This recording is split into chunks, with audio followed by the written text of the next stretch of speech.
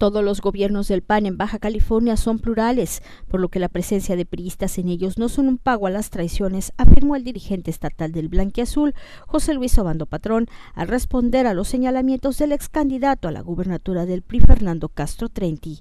Los gobiernos del PAN, desde que aquí gobernamos en el 89, siempre han sido gobiernos que al, al integrar gabinetes son plurales nos indica que hay un funcionario que no es panista en el gobierno, creo que eso es bien claro, ¿eh?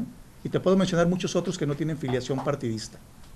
Punto. O sea, no nos debe de extrañar eso, es la normalidad democrática en cualquier lugar donde un solo partido no tiene la capacidad de gobernar por sí solo. Veamos Alemania, veamos Chile, veamos cualquier otra democracia, eso es lo normal.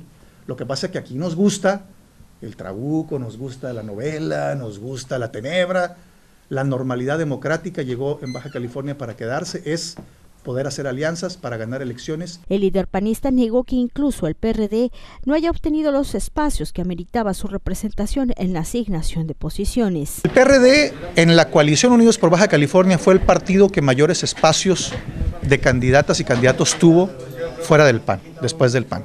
Yo creo que el gabinete se empezó a integrar al momento en que se tuvo opción de triunfo.